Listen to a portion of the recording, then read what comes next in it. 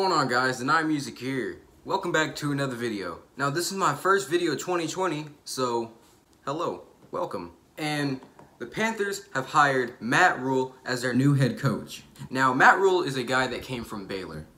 He was the college coach for Baylor. And he had an 11 and 3 season, which is good on college standards. So the Panthers hired him and people are saying he is the best coach that was available on the market, so I guess that's good. I don't really know nothing about him because I don't really watch college football.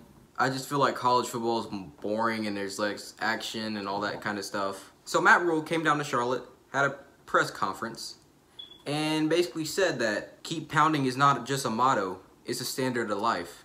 And I totally, totally agree with him. So Matt Rhule, welcome to Carolina. I hope you could do some great things for us. Hopefully next year you could guide us to a Vince Lombardi trophy and make history no matter what. So the biggest things I'm ready for is the Super Bowl. I want to see who wins the Super Bowl this year. And I also want to see who the Panthers draft because we have the seventh pick, which is pretty high. I wish it could be higher, maybe like fifth. So I don't know who we're going to take.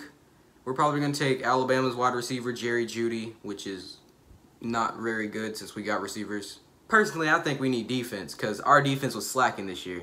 I just wanted to make a video about Matt Rhule, and I wish him the best of luck.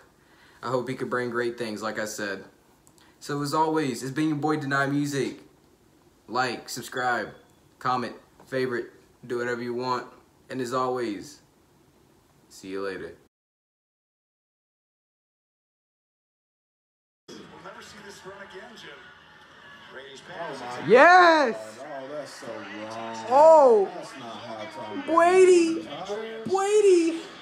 Where you going, Brady?